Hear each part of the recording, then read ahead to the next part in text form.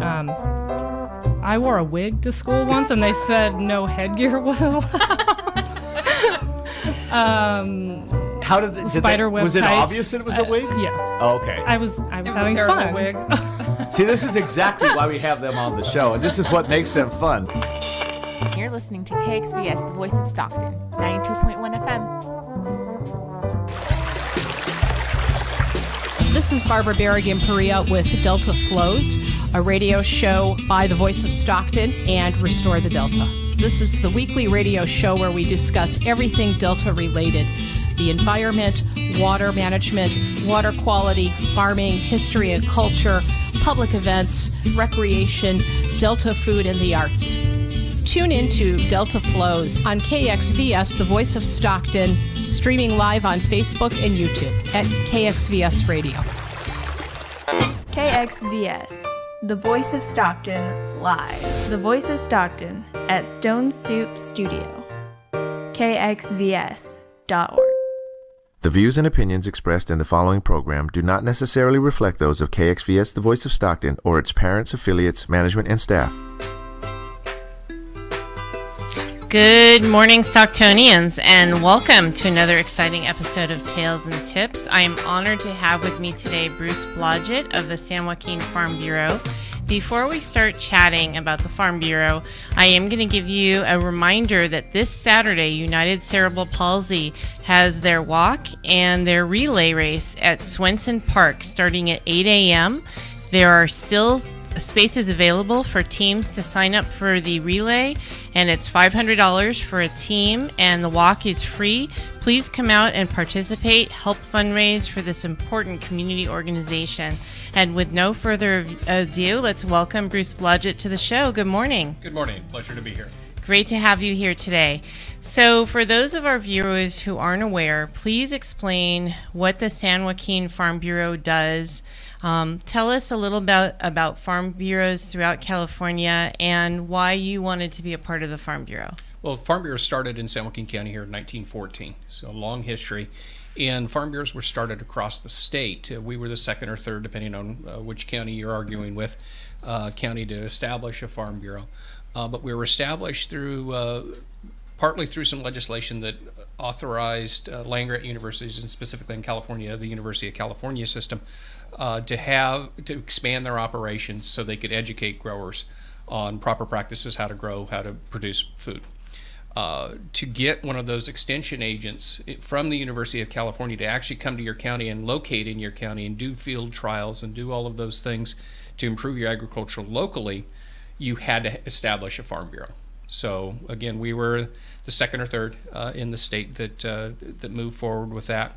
We still have somebody cooperative extension attends every one of our board meetings. We've still maintained that relationship. Wonderful. Yeah, and it's it's we've grown as an organization since then. Um, you get a group of growers in a room, and they all of a sudden are, are talking or discussing or complaining or or uh, and it didn't matter back in 1914 or today in our boardrooms. There's always something uh, that needs to be addressed, and so it's Farm Bureau has become more of an advocacy organization, and uh, we also do a lot of training programs and education.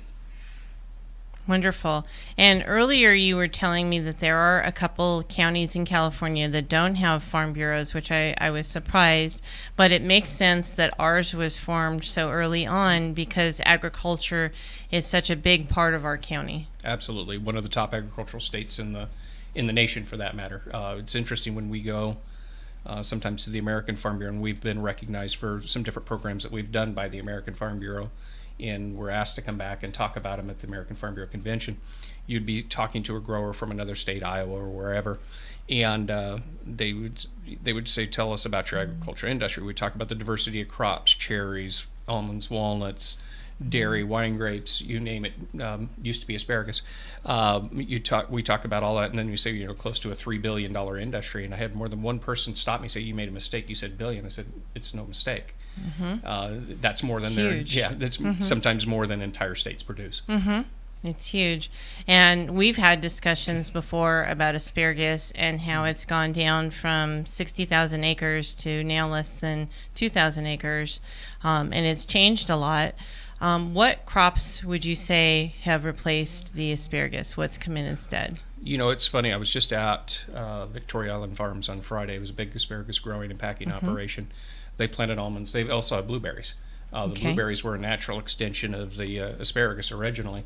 They could go from asparagus season into into the blueberry harvest. Um, so they they've changed significantly. They have some exciting things coming on that uh, I think it's going to be worth watching. Is they're they're want to do a, make a dis, or build a distillery out there on the property, Re, Oh, wow. repurpose the buildings and Okay. you know grow the barley and the and the the grains locally and and produce uh, produce spirits here in the Delta. And I think that's pretty Awesome. exciting. Yeah, it was uh, first chance I had to go talk to the folks out there, and really excited about the prospects for that. Very excellent. Wow, that that's amazing to hear that.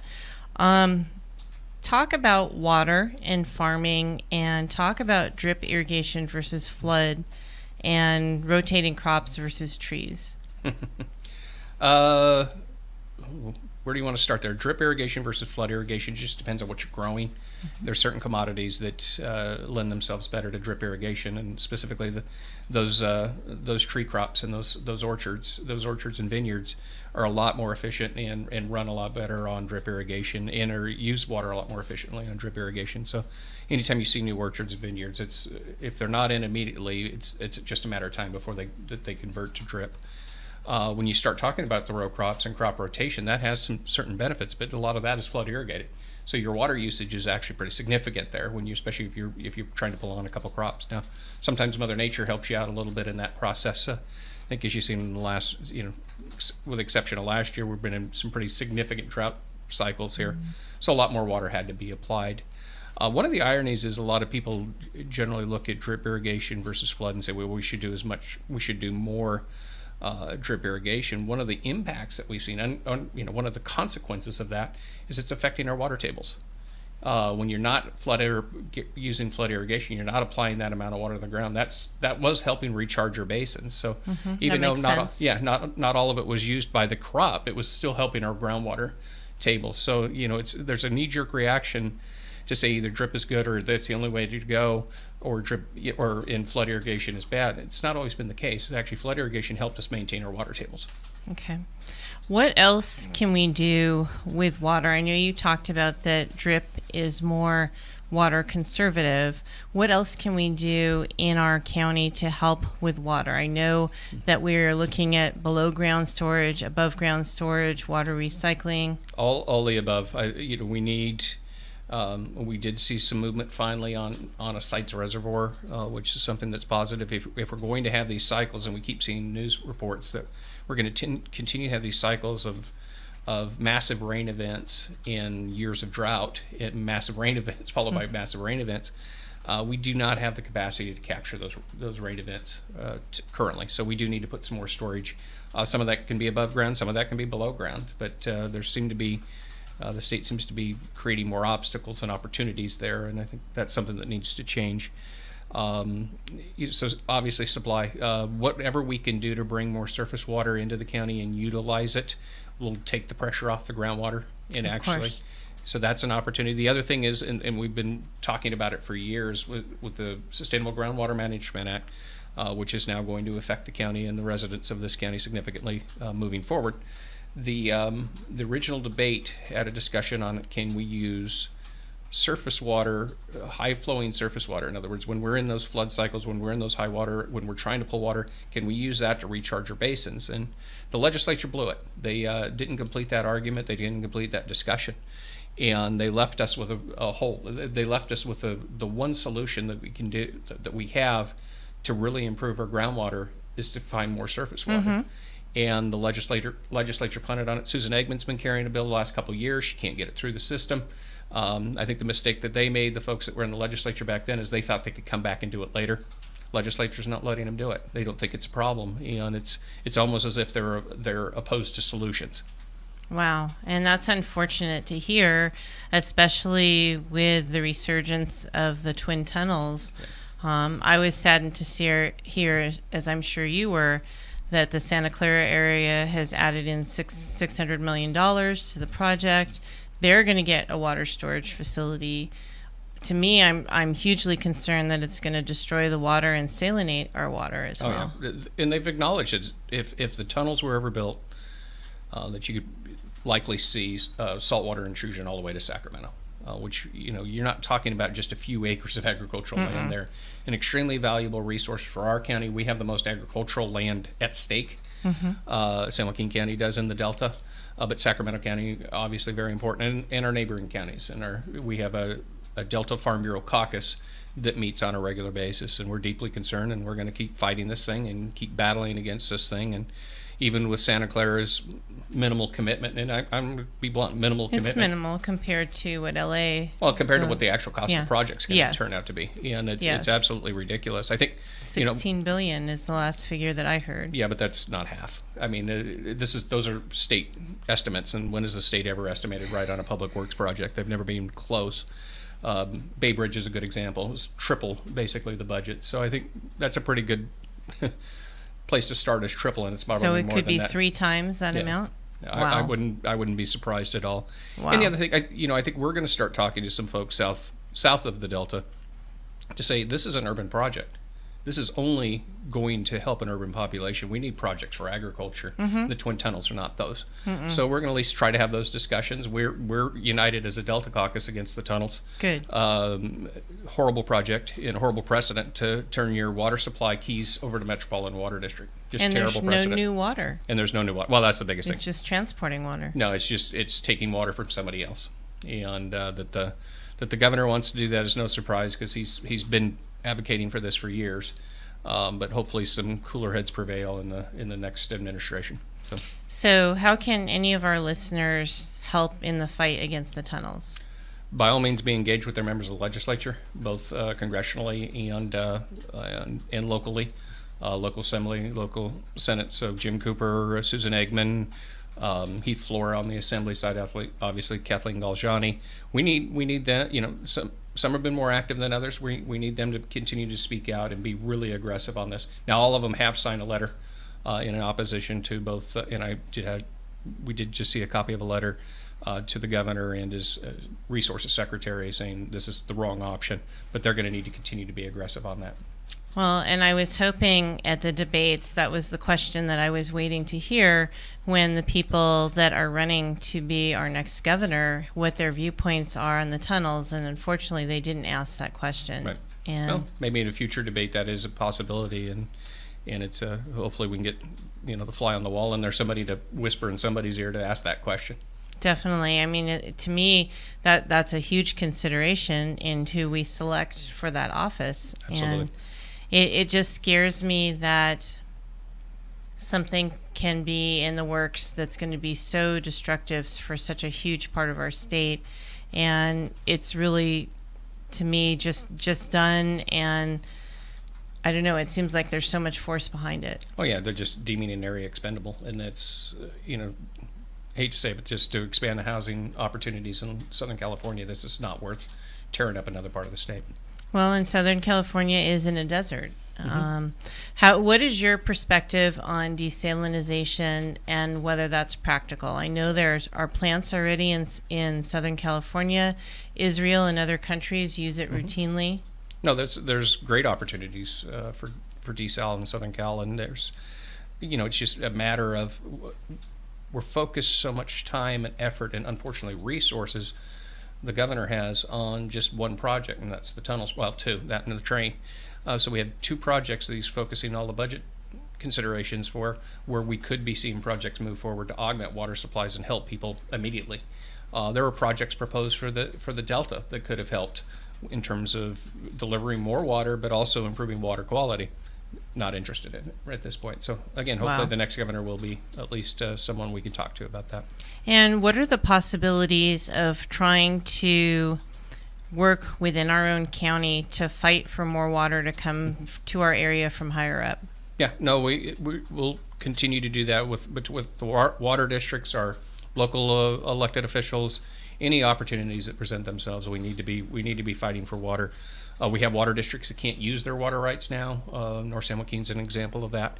That they don't have the facilities in place, so they've been trying to get some funding to to improve facilities so they can actually exercise part of their water right before they lose it. So we need we do have some water rights that are not being utilized that we need to utilize to a greater extent here.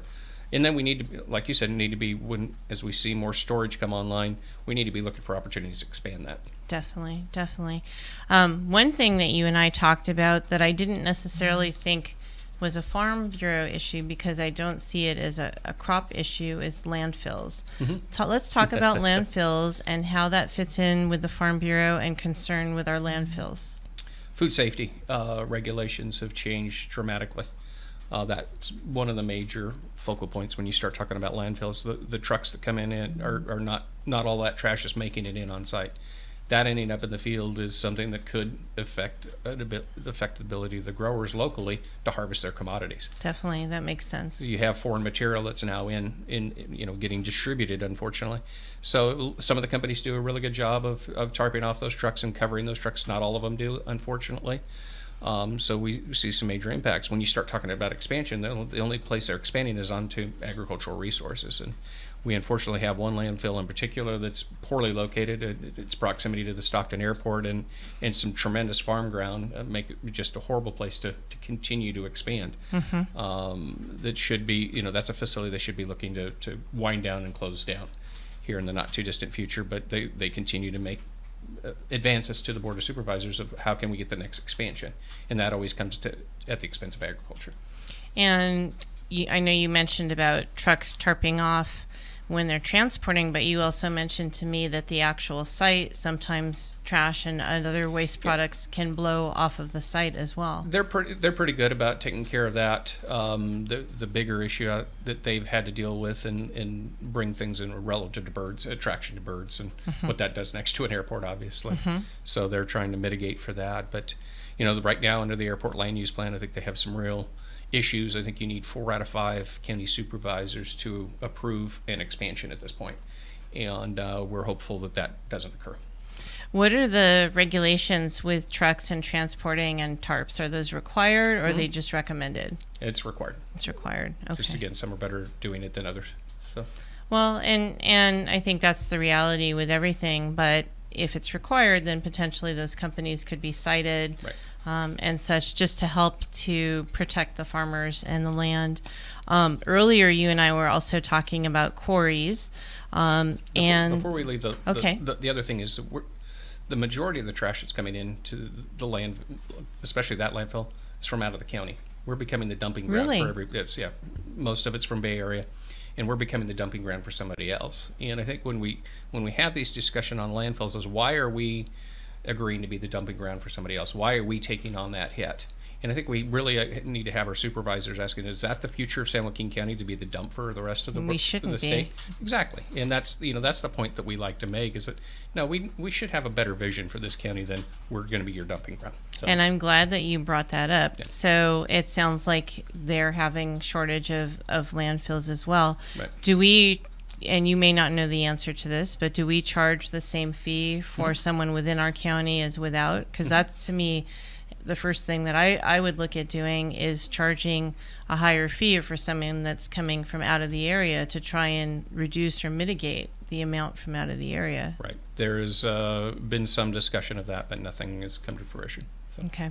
All right. And do you have a sense of the number of landfills just not only in our county but in other counties? Ooh. Uh, And you don't, that's okay. no, I we have a, three in the county that I'm aware of. We have a transfer station. Um, I know of one in Sacramento County because I can see it from my uh, the ranch I grew up on. uh, but yeah, I don't have the complete number of Okay, that's okay. Yeah. Um, but that's interesting. I, I was not aware that other areas are, are dumping here. Um, that's unfortunate to hear that, but that I think there's the potential to change that. Um, so let's talk about quarries um, and where they're located, why they're important, um, what can be done with the land after granite is taken out, and such. Well, yeah, we, it's an issue that we continue to follow because it always, you know, if a new quarry is proposed for, uh, you know, if they propose a new quarry in our county, it's on agricultural resources, obviously, and you try to look at quality of soils and the ability to, you know, what what the uh, capability is for that soil to grow, and if you have a lot of granite, it's pretty tough to grow. obviously. So you you tend to try to make judgments in terms of okay, that's a better place for a quarry than others. But we haven't had any new quarries in some time. Uh, we have some existing quarries that have been expanded. Uh, we certainly uh, understand we need to get resources locally, and we need to be able to source for ourselves, not be Definitely. reliant on others. Uh, but at the same time, we want to see some of those original commitments. A lot of those quarries were established with an understanding that they were going to be returned to an agricultural um, property afterwards. And we're certainly uh, wondering if that's going to indeed be the case, especially depending on how deep you go. If you continue to adjust the permit and take it deeper and deeper, and you run below the water table, you just you know now you're creating a lake rather than a, Yes. a farmable property, and that's uh, you know we want to see those original commitments upheld.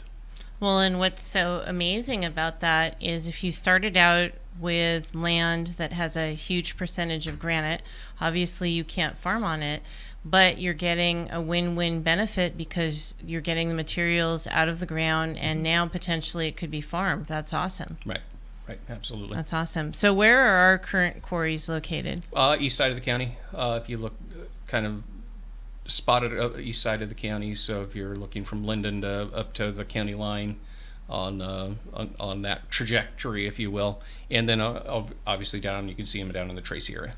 Okay. And earlier we were talking about the history of the farm bureaus throughout California and within our county, but we really didn't talk about you and how you decided to be part of the farm bureau and kind of your background in agriculture and what what makes you want to be part of the farm bureau. I grew up on a family farm and ranch in Sacramento County. Also had property in the Delta uh, on Sutter Island. Also still own uh, family owns a cattle ranch up in Amador County. So grew up in agriculture. Was always around agriculture, working in agriculture, driving tractor, pruning Christmas trees, uh, feeding the cattle, doing whatever I needed to do uh, while I wasn't in school or in college. Uh, when I graduated from college, looked around, did a couple different things, and um, lo and behold, there was an ad in the Ag Alert newspaper, which is the, paper, the weekly paper that goes out to all the Farm Bureau members. A buddy of mine picked, saw the ad and handed it to me and says, "What the San Joaquin Farm Bureau is looking to hire someone." Well, I'm in agriculture, I'm- so I had to send him a writing sample, and they asked me to come in and interview a couple weeks after that, and offer me the job the next day. So that was 1991. Wow. So the next day. the next day. yeah. That's awesome. And I had a, ironically, I had a, uh golf game set up with the administrator, the head of the California Farm Bureau, uh, not the president side, the head staff person of the California Farm Bureau, to talk to him about opportunities with the California Farm Bureau. And uh, it was pretty funny. I get up there, I cut screaming down to Stockton, accept the job from Bob Cabral, who was the uh, who was later elected board of supervisors, actually, and the Cabral Ag Center is named after him. And took the job from Bob and uh, took off, made it up just barely in time for the tee time. And George George Gomes, the individual, starts talking to me. He says, "Well, tell me something about yourself." I said, "Well, as of about an hour ago, I'm now the program director at San Joaquin Farm Bureau." so that worked out well. They came and hired me, uh, took me up to Sacramento a couple, about two and a half years later, about three years later. Awesome. So I went to work for there for about 12 years, and then I've been back here since 2005 as the executive director. So, Awesome. Yeah. And if you had to pick three highlights during the time that you've been in the farm bureau, what what would you Ooh. pick? Three highlights. Um, that's really interesting. I uh, had a chance to work with some landowners down in Santa Barbara County when I was with the state, state Farm Bureau. And we worked with a variety of interest groups um, to hold a congressional hearing, or a, actually a Department of Interior hearing, on a proposal to create a Gaviota National Seashore. And um, that proposal would have taken private ranch lands and um, basically converted them to a park. And what we found is that the the the folks like nature conservancy were less concerned about those lands becoming part of a government agency than they were they just wanted them preserved. And what we ended up and what the the end of that story ended up being that the Department of Interior released a, uh, you know, th their findings, and one of the findings was there are ways to preserve land, but simply making it a park and getting rid of the farmers is not the best option. We should be looking to what, get, you know, find incentives to keep the farmers on the ground rather than, uh, rather than uh, uh, kicking them off. And um, given some of the history of the Park Service and some of their management decisions that they're making, I think that was a really good decision. Uh, we've had similarly uh, another park in, in the Point Reyes National Seashore where they proposed expansion, and we were able to to say no. The history there has been absolutely miserable from the agricultural standpoint. the irony, and they gave us a tour of the facilities and tour of the farms, and the farmers that were there that to talk to us about how much they love the park were all outside the park. Interesting. And, and so one of them had champagne cellars and was growing wine grapes for champagne. And we had to ask the Park Service, would you be able to do this in the park? Well, no. And you see now there's there's actually a lawsuit by environmental groups to get rid of the agriculture on on the parkland to greatly reduce it. And that wasn't the original commitment was made. Wow. So when you see those kind of situations, again, I think when you have a federal ownership of a private property, uh, former private property, and you're just a leaseholder, the to- the clock is ticking. Whether you're still in agricultural operation, so those are a couple of the things that we worked on. Um, Delta Protection Act. Uh, I was here at the County Farm Bureau office and, and Senator Pat Johnston and a whole host of people. So, I, as a matter of fact, I have one of the signed posters in my office of the Delta Protection Act from some real reservations. Um, but the, the good senator from this area was willing to work with us uh, to make sure the representation would be positive from an agricultural standpoint and that the, the, there would be balance on that Delta Protection Commission. And I don't think we have one regret that they're in existence. And actually, they've been a big, big advocate as far as Delta tunnels and a whole host of other issues. So it's turned out to be something we thought could have been damaging. It's been one of the best things that's ever happened. So that's- Awesome. so That's really positive. That's awesome. Yeah. That's awesome. Um, I know you and I have discussed the concern for marijuana coming to the county, um, the fact that it's here, um, the fact that there is legislation that's going to be voted on in November. Um, give give us your perspective or the Farm Bureau's pers- perspective. take it slow. Uh, a lot of counties in- in jurisdictions have jumped at this thing and, have, and just created a multitude of problems for themselves. Calaveras County was in, now they're out.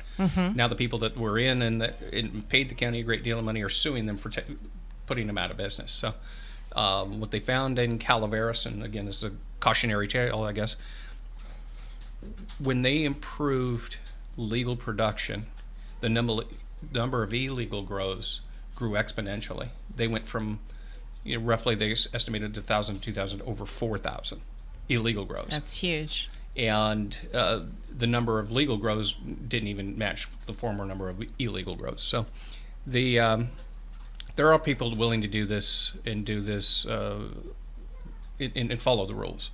But what we find is when you create these areas, it's I hate to say it, it's it's foreign countries, uh, drug cartels that are coming in and establishing growing operations, and it's a lot of violent crime, a lot of people getting killed, a lot of people getting shot, and uh, so we want to make sure that if this county takes that step, we take it slowly, uh, that we take it very surely, and understanding that we have the resources to address it. Um, that's that's the biggest thing is we need to have the resources, and then you have the you know you're going to have the potential here to have a real big issue uh, depending on outdoor grows. Are you going to be able to grow outdoors and then grow hemp because you can't have the two mix?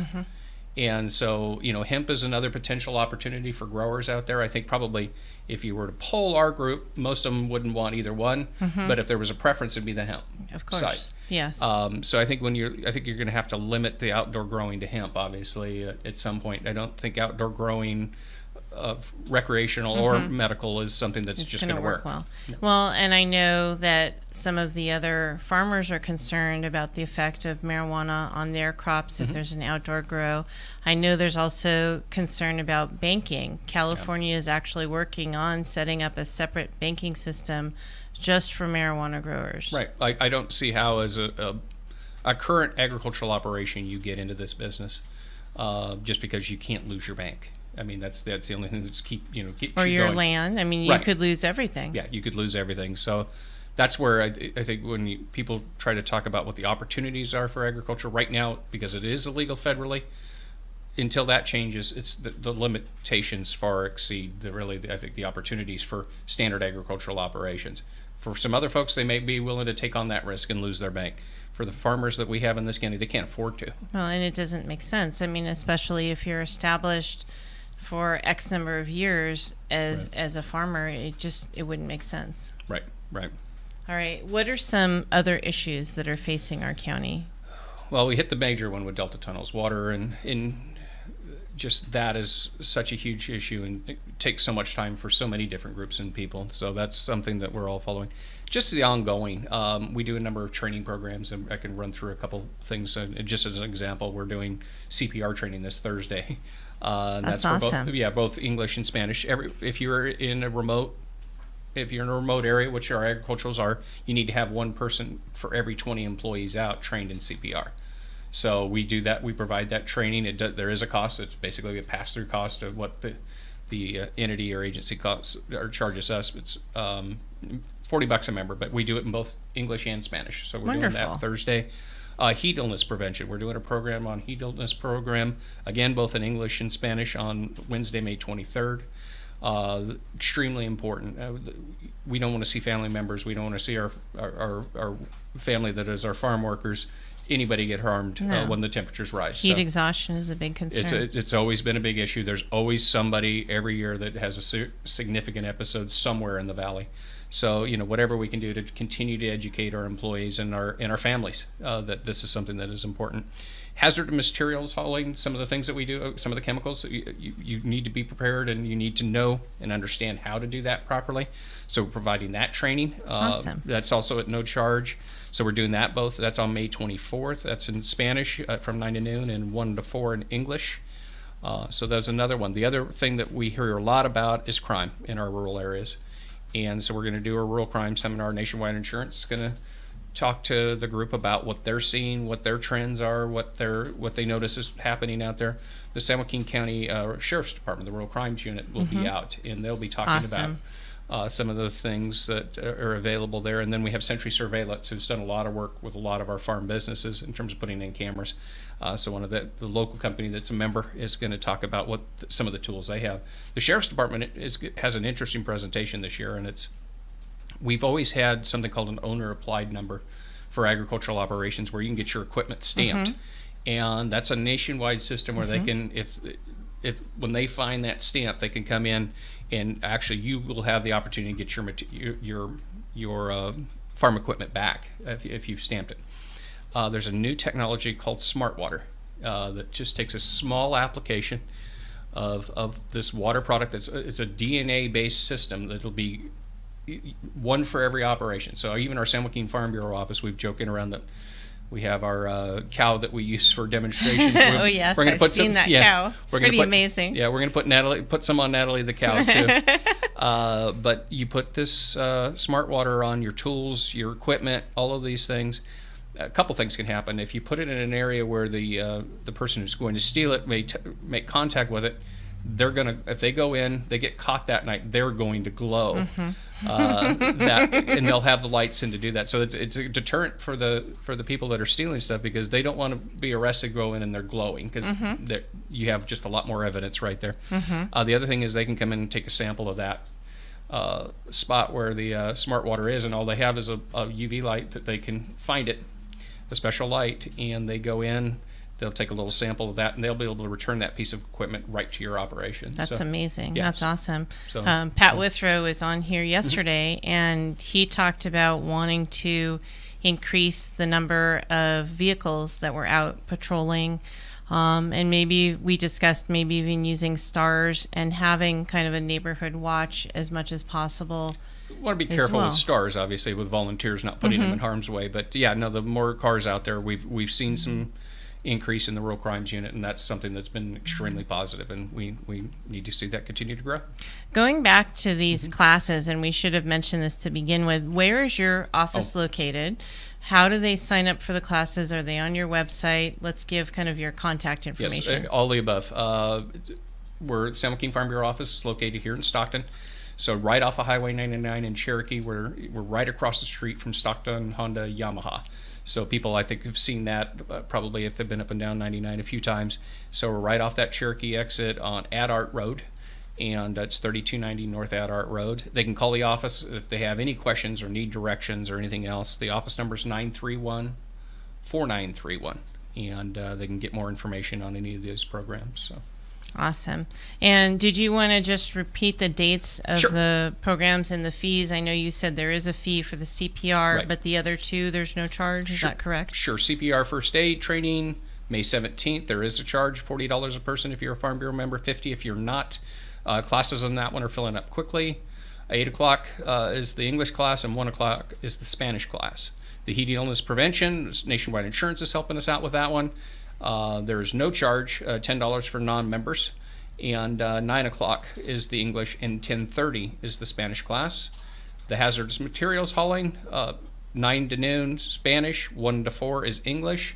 Again, no charge to Farm Bureau members. And May 24th for that one. The It's May heat, 24th, The heat one is May, May 23rd. 23rd, and then May 31st uh, is the the rural crime seminar. So, Awesome. yeah. Excellent. And any last comments that you'd like to make as we're winding down? Just a couple. We have our annual meeting coming up. It's going to be a fun event out at Gill Lake.